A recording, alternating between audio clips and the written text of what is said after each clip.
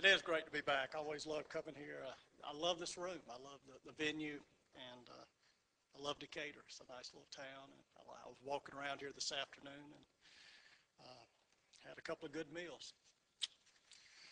Uh, thank you, Bill. Uh, Bill's been a good friend to me and a supporter of my work, and, and uh, he's obviously doing great work here in Decatur. Um, tonight, what I thought I'd do is, is, is read a little bit from Serena, talk a little bit about it, maybe leave a few minutes for, for a few questions if you have them. Be glad to answer those. Uh, this novel came to me uh, almost three years ago, exactly, a little more than three years ago. I was driving on one of the mountain roads near where I teach, and I had an image of a, a woman on a huge white horse. And sun, it was, it was dawn, sun was coming up behind her. Uh, she had blonde hair, and the sun, as it hit her hair, shimmered, and it was almost as if she were wearing a crown. And uh, uh, for, for whatever reason, perhaps because I, am also a poet, uh, every novel I've written has, has begun with an image. And, and so this was the image that started Serena. And as I, as I came to, to, to know Serena and the story uh, better, I realized that she was from Colorado, had grown up in a timber camp herself. Uh, her father had owned, learned a lot about timber and hunting and riding. Uh, at a time, you know, this is uh, the novel set 1929, 1931, when this would have been unusual for a woman. She goes to Boston, meets a man named Pemberton who owns a, a, a timber uh, camp in, in the North Carolina mountains. They marry very quickly. Uh, she feels like they're fated to be together. And uh, they come south. And, and, and as, as they've been married, as I say, probably about well, right at a week. And as they're getting off the train, they are met by uh, Pemberton, who's been in this camp for a couple of years, has uh, impregnated one of the uh, kitchen workers. So they're met at the at the, the railroad station in, in Waynesville, North Carolina, by uh, this pregnant girl and her very angry husband. And that's where the novel begins. There's a knife fight, and uh, the uh, uh, kitchen worker's father is killed by Pemberton. And this is really the first moment we get to see Serena. And I remember writing this scene because I didn't know what she was going to do. You know, how do, how do you deal with this? You know, and uh, uh, you know, you, you, you meet your husband's uh, former concubine, lover, whatever, and uh, she's seven months pregnant. And uh, what happens is Serena picks up the knife that the dead man has dropped, takes it over to this young girl who's only 16 years old, gives it to her, and says, This is all you'll get from me and my husband. And that's, you know, that's what I knew. I had a woman that, you know, this, it's fitting I'm reading this the night before Halloween because uh, she scared me writing about her. And, uh, and she, she, she becomes uh, very quickly uh, a, a, a character that inspires consternation and awe from the workers. She's essentially the only woman in the camp except for a couple of kitchen workers. She's surrounded by a hundred very rough men, timber men timber cutters. But she quickly impresses them. She wins a, a, a contest uh, judging board feet with one of them. Uh, rides, uh, uh, does not ride side saddle, rides like a man. Uh, quickly shows she knows more about the business than her husband. Her husband essentially becomes a bookkeeper while she goes out with the crews. And she becomes more and more uh, revered by the men and also feared a bit. And and I wanted her that way. I wanted her to be a larger than life character. And as I was working on the book, I, had to. I wanted one more thing that would really ratchet it up, that would impress these men who would not be very easily impressed by anything. And um, as writers are prone to do, I, I came up with what at first seemed like a, a, a, rather outrageous idea. I knew one thing from doing research and talking to some old loggers that there was always a problem with rattlesnakes in these mountains when they were, were cutting timber. So I thought, well, I'll have her kill the rattlesnakes. That, that would impress these men because that would be one of the few things they would fear. And um, I thought about that, and I thought, well, I mean, she can shoot them, but uh, that's not that impressive. I mean, anybody can do that. So I thought about it some more, and I said, well, what if I have her hunt, hunt them with a, at first I said hawk, and I said, no, nah, that's not impressive, with an eagle. You know, train an eagle to hunt them with rattlesnakes. And, and I thought, hey, that's a good idea. but would anybody believe that? Can I make that even remotely feasible? And um, so I actually did a lot of research, I actually talked to a number of people, finally found one of 12 people in the United States who hunts with an eagle, a guy out in Wyoming named Scott Simpson.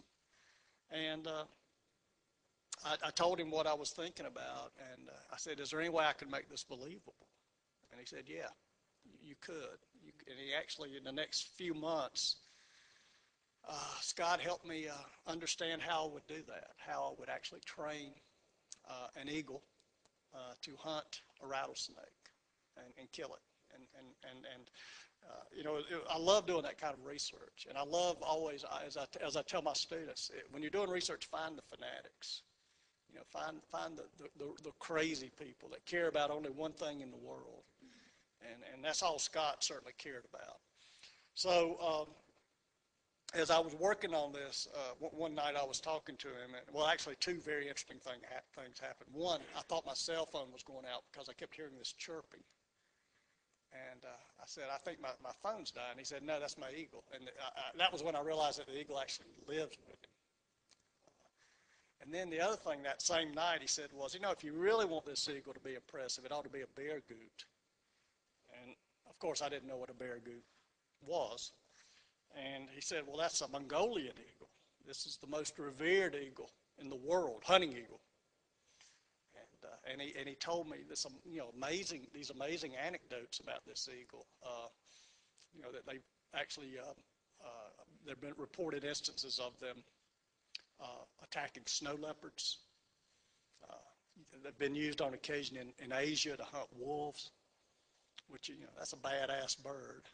And that's exactly what Serena needed. And so I had her actually uh, hunt with this eagle and, and you know, pretty much uh, make, make a pretty big impression on these uh, people that were uh,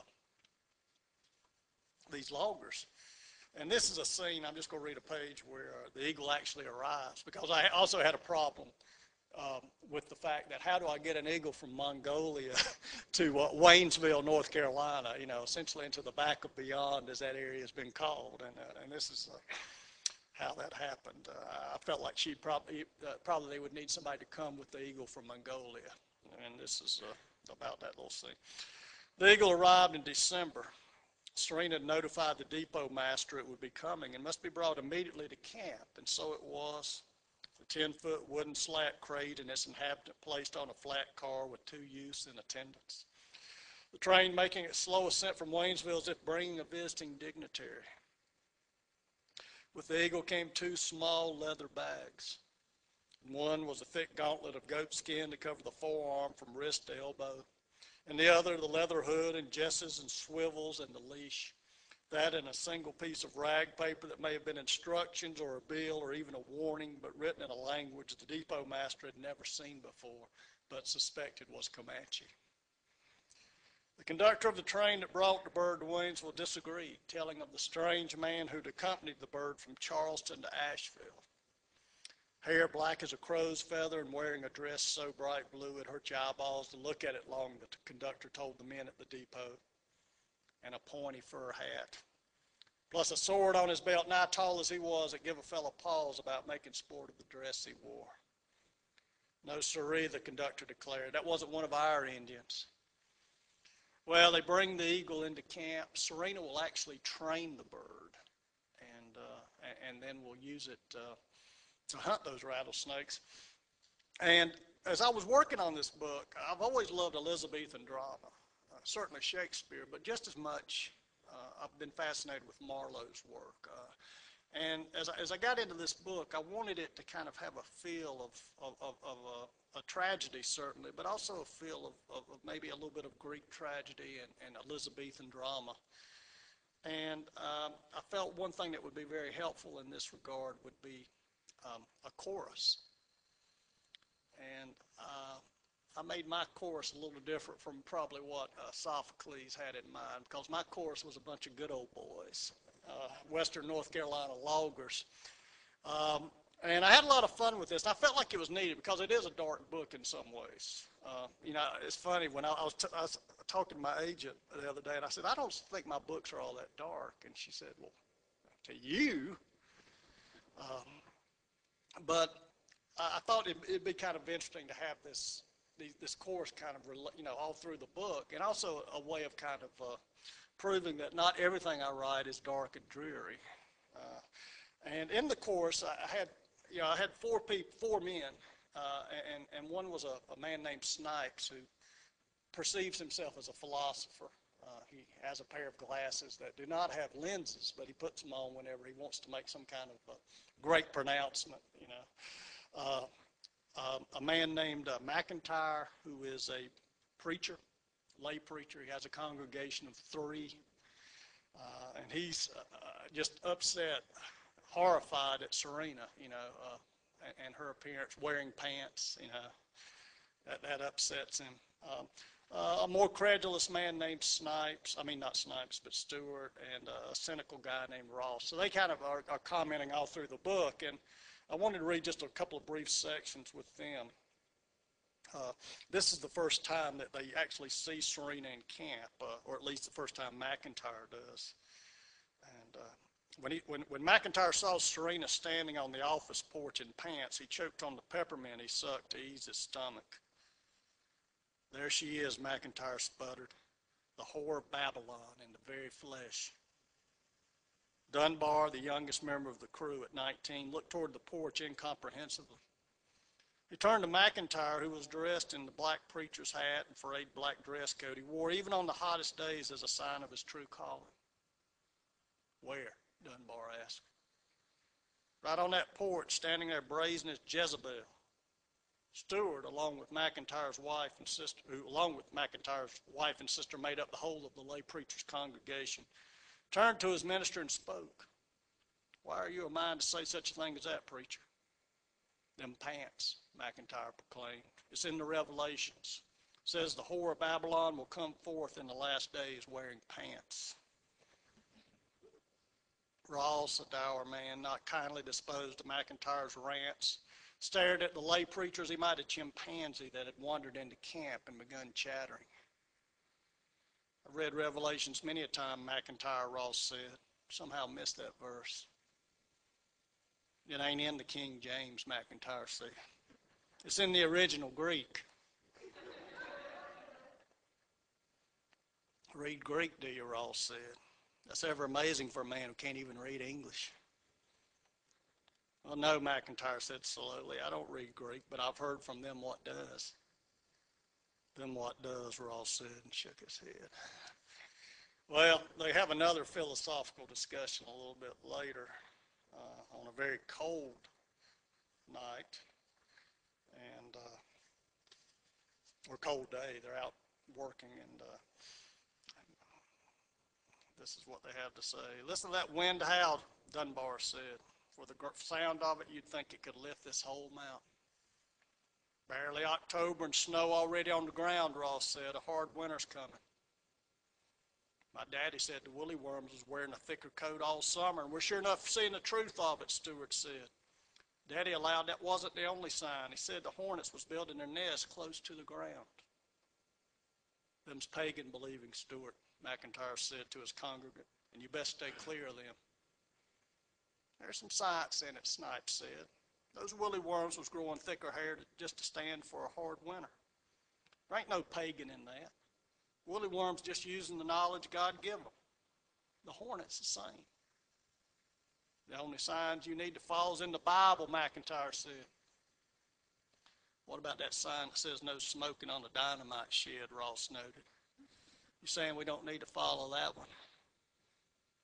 You can make sport of it, McIntyre said to Ross, but this unnatural weather's a certain sign of the last days. The sun will be darkened and the moon shall not give up its light.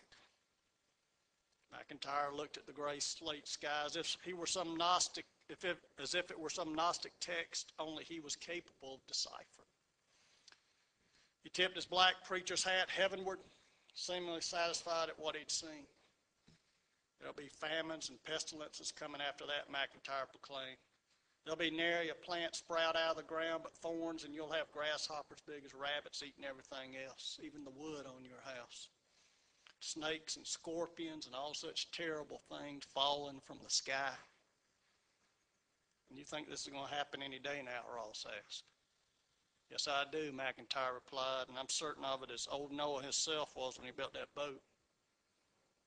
I reckon we better start bringing umbrellas with us to work, Ross said.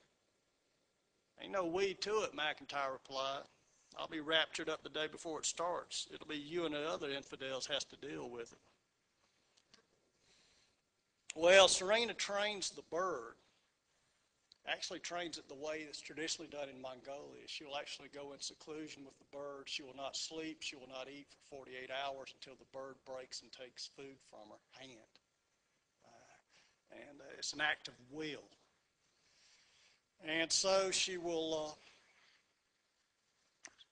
come the come the spring and, and summer. Uh, she she trains the bird early summer, and finally she gets to uh, take it out and hunt with it.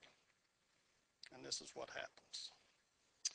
It was mid-July when Serena freed the eagle from the block perch and rode west to Fork Ridge, where Galloway and his crew worked on a near slope. Serena loosed the leather laces and removed the eagle's hood, then freed the leash from the bracelets. She raised her right arm. As if performing some violent salute, Serena thrust her forearm and the eagle upward. The bird ascended and began a dihedral circle over the 20 acres of stumps behind Galloway's crew. On the third circle, the eagle stopped. For a moment, the bird hung poised in the sky, seemingly outside the world's slow turning. Then it appeared not so much to fall, but to slice open the air. Its body V'd like an axe head as it propelled downward. Once on the ground among the stumps and slash, the eagle opened its wings like a flourished cape. The bird wobbled forward, paused, moved forward again, the yellow talons sparring with some creature hidden in the detritus. In another minute, the eagle's head dipped, then rose with a hank of stringy pink flesh in its beak. Serena opened the saddlebag and removed a metal whistle and a lariat. Fastened to one end of the hemp was a piece of bloody beef. She blew the whistle and the bird's neck whirled in her direction as Serena swung the lure overhead. They Lord God, a worker said. For as the eagle rose, in its talons was a three foot long rattlesnake. The bird flew toward the ridge crest, then arced back, drifting down toward Serena and Galloway's crew. Except for Galloway, the men scattered as if dynamite had been lit, stumbling and tripping over stumps and slash as they fled. The eagle settled on the ground with an elegant awkwardness, the serpent still writhing, but its movements only a memory of when it had been alive. Serena dismounted and offered the goblet of meat. The bird released the snake and pounced on the beef. When it finished eating, Serena placed the hood back over the eagle's head. Can I have the skin and rattles? Galloway asked. Yes, Serena said, but the meat belongs to the bird. A months in, the eagle had killed seven rattlesnakes, including a huge satinback that panicked Snipes' crew when it slipped from the bird's grasp mid-flight and fell earthward. The men hadn't seen the eagle overhead, and the serpent fell among them like some last remnant of Satan's rebellion cast from heaven. Snake landed closest to McIntyre. It had just enough life left to slither a few inches and rest its head on the lay preacher's boot toe, causing McIntyre to fall backward in dead faint. Well, that is so traumatic for Preacher McIntyre that he actually quit speaking for weeks. He goes to bed, he can't work. Uh, and uh, it, you know nobody knows what's going on with him, but he's obviously just uh, completely out of it. And this is a little report. Uh, this is the last piece of the course I'll read, uh, where they're they're finding out the latest on McIntyre. You know, several weeks have passed by now. Is McIntyre doing any better? Dunbar asked. Not a lick, Stewart said. His missus took him back over to the nervous hospital, and for a while they was favoring electrocuting him. Electrocuting him, Dunbar exclaimed. Stewart nodded. That's what them doctors said, claimed it for a new thing they've been talking up big in Boston and New York. They get some cables, same as you'd spark a car battery off with, and pinch them on his ears and run electricity all up and down through him. Lord have mercy, Dunbar said. They figure McIntyre for a man or light bulb. His missus don't like the idea of one bit neither. I'm with her, Stewart said. How could you argue such a thing could do anybody good? There's a scientific principle involved in it, Snipes said, speaking for the first time. Your body needs a certain amount of electricity to keep going, same as a radio or a telephone or even the universe itself.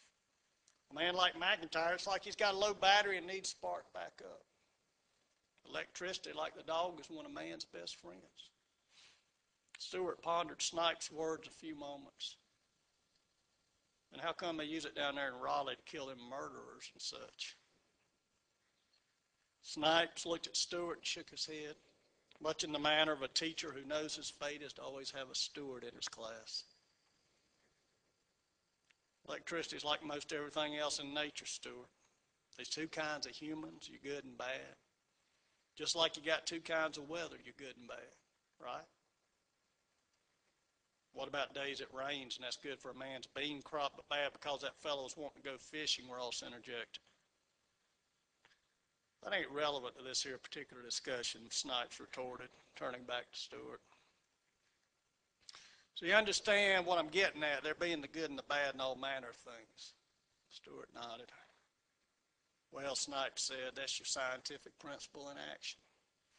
Anyway, what they'd use on McIntyre is the good kind of electricity because it just goes in you and gets everything back flowing good.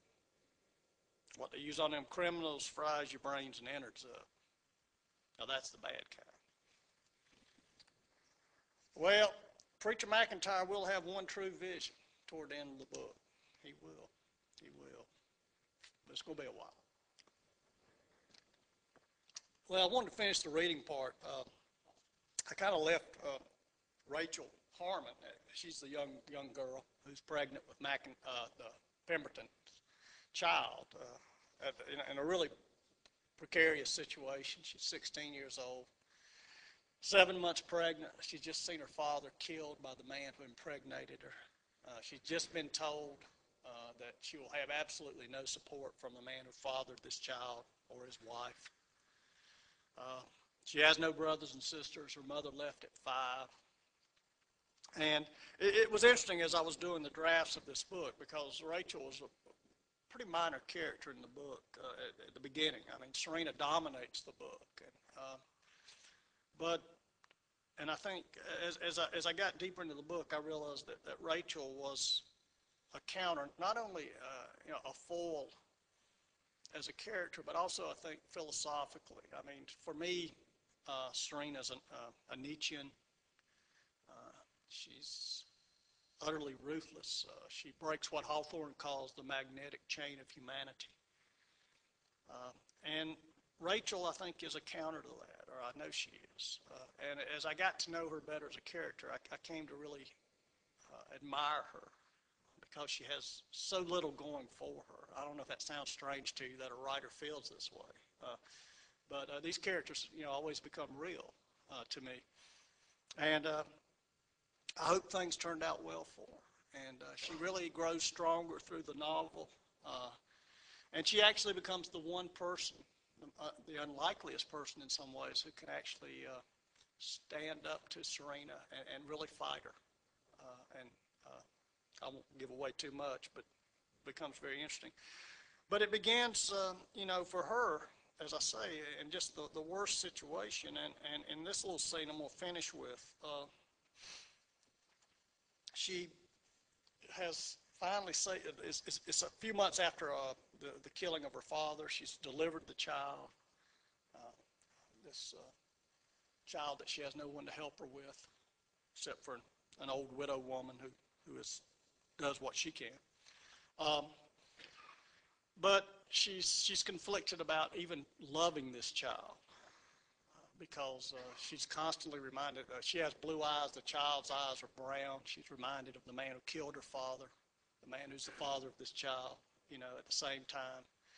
And she's thinking about the price of love in this scene and uh, trying to remember something about her father, who was a hard man, uh, a bitter man, particularly after, as, as, as this will make clear.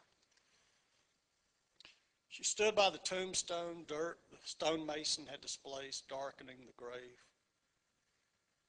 Her father had been a hard man to live with, awkward in his affection, never saying much. His temper like a kitchen match waiting to be struck, especially if he'd been drinking. Rachel heard an older woman at the funeral claim her father had been a different man before her mother left, less prone to anger and bitterness, never bad to drink. Rachel couldn't remember that man. Yet he'd raised a child by himself, girl child. And Rachel figured he'd done it as well as any man could have alone. She'd never gone wanting for food and clothing. There were plenty of things he hadn't taught her, maybe couldn't teach her. But she'd learned about crops and plants and animals, how to mend a fence and chink a cabin. He'd had her do these things herself while he watched, making sure she knew how, Rachel now realized, when she, he'd not be around to do it for her. What was that, if not a kind of love? She touched the tombstone and felt its sturdiness and solidity. It made her think of the cradle her father had built two weeks before he died. He brought it in and set it by her bed, not speaking a single word, acknowledging he'd made it for the child. But she could see the care and the making of it, how he'd built it out of hickory, the hardest and most lasting wood there was. Made not just to last, but to look pretty, for he'd sanded the cradle and then varnished it with linseed oil. Rachel removed her hand from a stone she knew would outlast her lifetime and that meant it would outlast her grief. I've gotten him buried in godly ground, and I burned the clothes he died in, Rachel told herself. I've signed the death certificate, and now his gravestone's up. I've done all I can do. She told herself this. Rachel felt the grief inside grow so wide and deep, it felt like a dark, fathomless pool she'd never emerge from. Because there was nothing left to do now, nothing except endure it. Think of something happy, she told herself. Something he did for you. A small thing. For a few moments, nothing came. Then something did. Something that had happened about this time of year. After supper, her father had gone to the barn while she went to the garden. In the waning light, she gathered ripe pole beans whose dark pods nestled up to the rows of sweet corn she'd planted as trellis. Her father called from the barn mouth, and she'd set the wash pan between two rows, thinking he needed her to carry the milk pail to the spring house. Pretty, isn't it? He'd said as she entered the barn. Her father pointed to a large silver green moth for a few minutes, the chores were put off as the two of them just stood there. The barn stripes of light grew dimmer, and the moth seemed to brighten, as if the slow open and close of its wings gathered up the evening's last light. Then the creature rose. As the moth fluttered out into the night, her father had lifted his large, strong hand and settled it on Rachel's shoulder a moment not turning to her as he did so. A moth at twilight, the touch of a hand. Something, Rachel thought. As she rode back down the trail, she remembered the days after the funeral, how the house's silence was a palpable thing, and she couldn't endure a day without visiting Widow Jenkins for something borrowed or returned. Then one morning she'd begun to feel her sorrow easing, like something jagged that had cut into her so long it had finally dulled its edges, worn itself down. Same day, Rachel couldn't remember which side her father had parted his hair on. She'd realized again what she'd learned at five when her mother left. That what made losing someone you loved bearable was not remembering, but forgetting. Forgetting small things first. The smell of the soap her mother had bathed with. The color of the dress she'd worn to church. Then after a while, the sound of her mother's voice. Color of her hair. It amazed Rachel how much you could forget. And everything you forgot made that person less alive inside you until you could finally endure it. After more time passed, you could let yourself remember, even want to remember.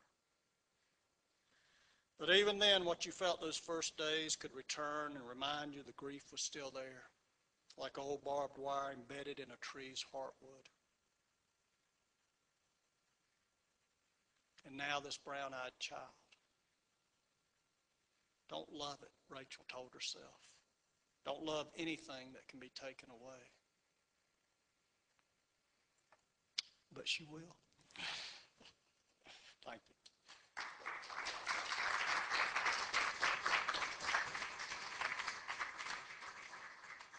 If you have a couple of questions, I'll be glad to at least try to answer them. Yes, ma'am. It, I don't know. Uh, I, she's a, you know, she's a character that yeah, I would like to. I, I, I'm kind of curious about what will happen to her. I don't want to give away too much, but yeah, she's a, she's a character that I'm very fond of. Maybe, maybe. You're not the first person to ask that. Between your writing of novels, short stories, and poetry, do you have a preference in terms of what you would prefer to do if it, if it was monetarily uh, beneficial to you? Well, uh, you know, I, I think it just really depends on, I, I think it's really kind of dependent on where I am with my life. I think when I was younger, uh, poetry uh, just seemed more important to me. I mean, it's still important, but, but as I've, I've got, I, I don't think I was able to write a novel till I really got in my 40s. And I think that's kind of where I am now. But uh, they, they, they each have uh, certain pleasures. Uh, I think that, but, but and, and, and they all have certain feelings. Uh, uh, I think there's a feeling with a novel that I don't get from anything else because there's a sense that I've created a world. Maybe a small world, but a, a world in which people live. Um, but with poetry, uh, I love that sense of just suddenly language, you know, using it at its most intense, uh, you know, that so much can be conveyed with so few words. And I love short stories because I think they're the hardest of all to do.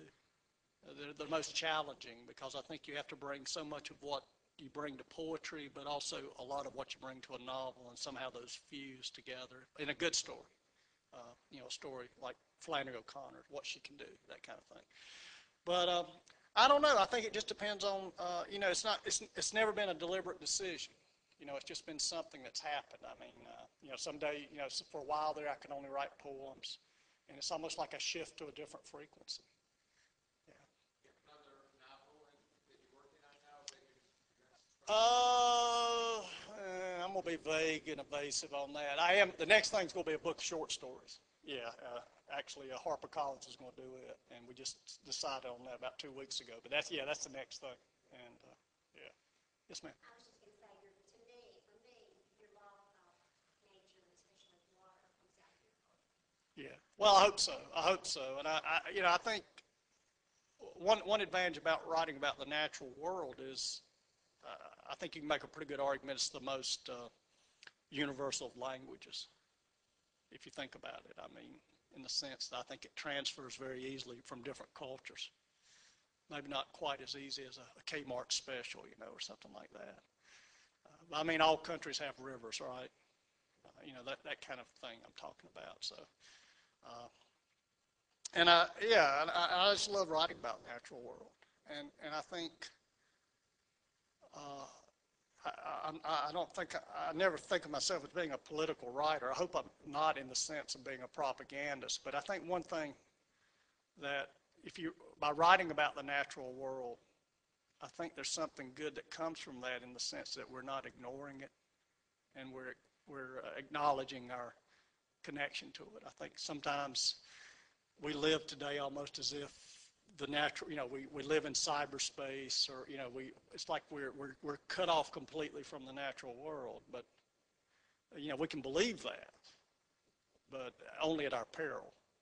I mean, I'm not, I'm not preaching here. I mean, that's just a fact. I mean, if the world dies, we die with it. You know, we are part of it. And I think one thing that I, I think writing about the natural world does is remind us of that. Hope, I think.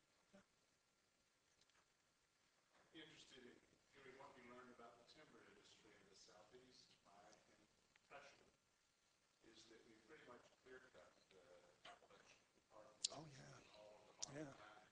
Yeah. coastal areas.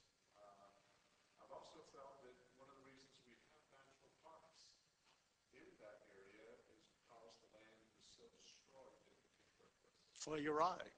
Uh, and I mean, you know, it's easy sometimes to get depressed about the ecological situation, but if you could have seen the North Carolina mountains about 1930, 1920s, and I, I mean, I, I've seen pictures of it. They, they were just razed. I mean, places you'll go today in the Smokies, and, and you, you, you know, a lot of people think, well, you know, this has never been cut. This has always been like this. No, you're exactly right. Second, third cuts. And, uh, and yeah, the, the, one reason the land was, they were able to get the land pretty cheap was because the, the timber companies already cut it. So, I mean, it was worthless to them. And, uh, and, uh, you know, and, and, and, and I didn't mention this, but, the, you know, the, the, the fight for that park is the backdrop of this novel. This, that's, that, you know, it's about that fight between the timber interest and, uh, uh, the people trying to build the park, Smoky Mountains National Park. And, uh, if you know some of that story, it's a miracle that park exists. I mean, it was created during the Depression when there was so little money. And, and it was almost like every time it looked like it was going to fall apart, you know, some, something would happen. Uh, John D. Rockefeller actually contributed $5 million at a, just a crucial moment. A certain company, you know, sold, a timber company sold at a crucial moment. I mean, it just, everything had to kind of fall into place at the, at the right time. And, uh, but it was also a very down and dirty fight. Uh, a lot of people don't realize that because the timber interests were actually bribing, blackmail. I mean, it was, it got rough. Low. Oh, yeah, yeah, yeah. It, it's, it's an amazing story.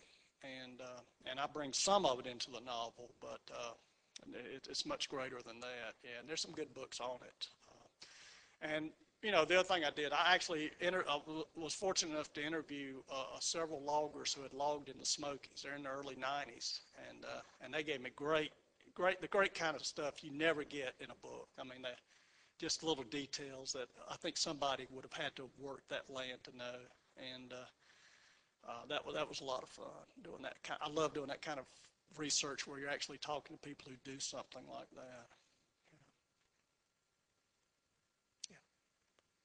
How long did you research before you did it? How long did it take to write? Uh, it took three years, and I worked harder on this book than any book I've ever written, and, and, and I really feel like I'll never work as hard on a book. This one, this one, people were worried about me. I mean, I had friends who told me that they could, when- I finished this book, that they could see it in my face that, you know, I'd been so wrapped up in it. But uh, three years, pretty much six hours a day, six days a week. Uh, first draft, I was writing 10, 12 hours a day for about first three or four months. You know, I'd take a couple of days off just to crash, sleep. But uh, worked real hard on it. What I do, I, you know, I kind of, uh, you know, uh, I started with that image, and, and I actually didn't really, I, I kind of do research. I don't do research beforehand. I kind of let the, the story lead me toward what I, I'm going to need to research. And uh, that's when, um, you know, I, uh, I kind of follow follow where it goes, and then I do the research while I'm doing that. Uh, I did find one thing. One, I don't know if anybody in here is a writer. I suspect some of you are, but does anybody write historical fiction? Okay.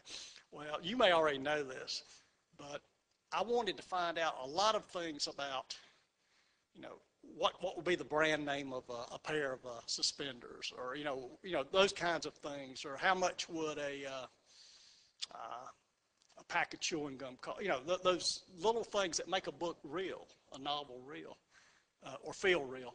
And uh, I finally realized uh, I, I actually found it on eBay. I ordered a, a 1929 Sears Roebuck catalog, and I mean that, that thing was just wonderful for those kinds of things. And you know, even the stuff I didn't use, it still kind of put me there. And uh, that's a great research tool.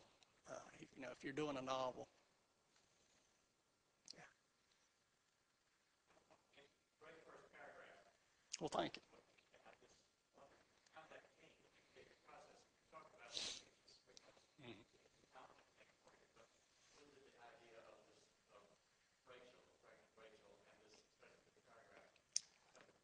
Yeah, you know, I think that's always a question. How do you end a novel and how do you, where do you start it? And, and I want to start a novel. What I want to do is immediately kind of draw the reader in. I mean, I think we all do with our openings. Uh, but it was a, it was a paragraph I spent a good bit of time on, I'll tell you that, uh, because I wanted it to get as much in there as I could and, uh, and draw the reader in and set up the conflict immediately and, and, and kind of also just, you know, because I wanted this to be like a play, at least feel like a play in some ways.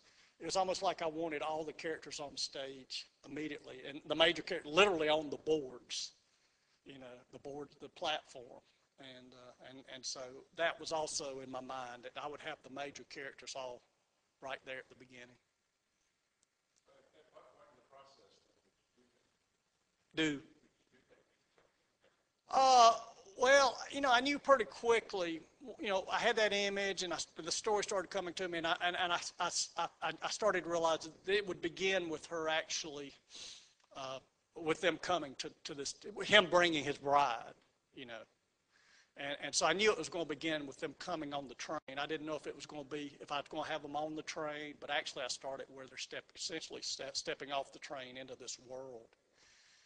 And uh, also, I use that because at the end of the book, there there will be a, a resonance of that. Some, the, that image of the, someone stepping off a platform will come back.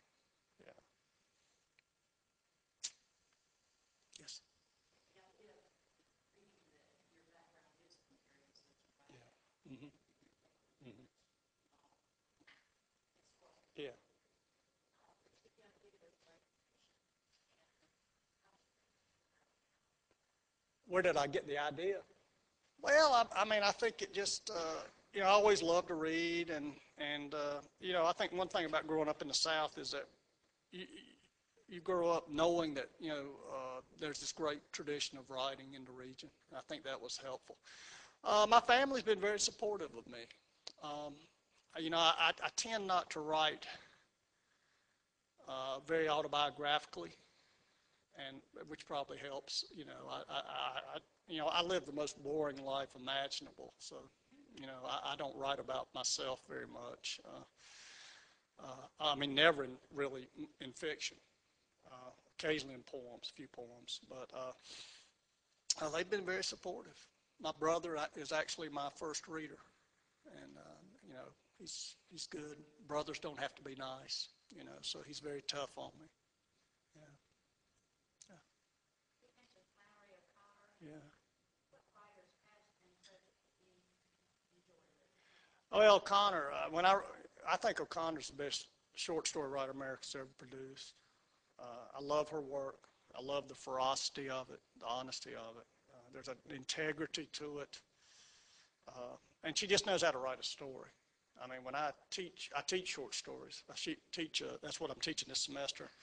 And anytime I teach short story, I start with A Good man Man's Hard to Find because I tell them, you know, this is as perfect a short story as I know. And, uh, yeah, certainly O'Connor. Uh, a writer that's had a huge impact on me that I think comes out more and more uh, is, is Dostoevsky. Uh, that's a writer I've always been drawn to. I read him when I was 14, and it changed my life. Uh, made me want to be a writer. I think he was the first writer that what what his book. I read Crime and Punishment, and you know, at 14, I, I know I missed a lot of what was going on, but uh, it it put me in a in a state, in a place that nothing had ever done before, and and and I thought, wow, you know, if if, if a book can do this, and and uh, you know, and I'm just kind of drawn to Dostoevsky, uh, temperament maybe, I'm not sure. Certainly, uh, you know, read. Um, I go back to. Uh, I do love Elizabethan drama. Uh, love Marlowe as well as Shakespeare. Uh, go back to them a lot. Uh, and uh, uh, more contemporary poets, Les Murray from Australia, Derek Walcott, Seamus Heaney, Northern Ireland. You know, those are all poets I admire.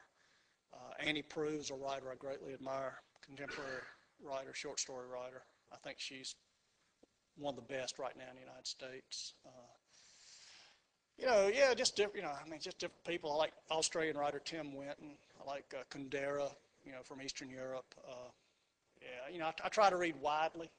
I tell my students to do that. I don't want to read people who are doing the same thing I am. Uh, so, uh, you know, and I love to read nonfiction. Yeah. Yeah, that was very generous of him. He, he's, he's a generous man. Yeah. Anything else? All right. Well, thank y'all for coming out.